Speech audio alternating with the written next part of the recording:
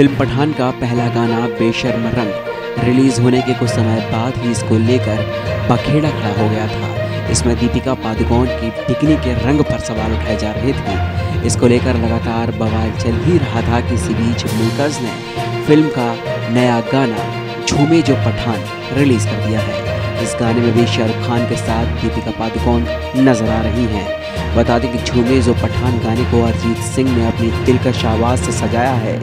देखा जा सकता है कि गाने में शाहरुख खान काफ़ी कूल लुक में नज़र आ रहे हैं। तो वहीं दीपिका पादुकोण का लुक भी काफ़ी शानदार है।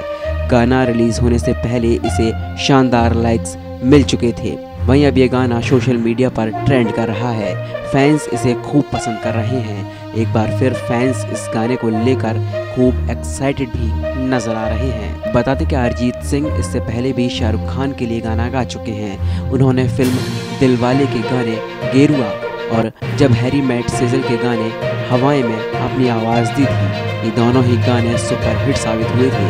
ऐसे में मेकर्स को झूमे जो पठान के लिए हिट होने की पूरी उम्मीद है। पठान के इस गाने को विशाल शेखर ने तैयार किया है।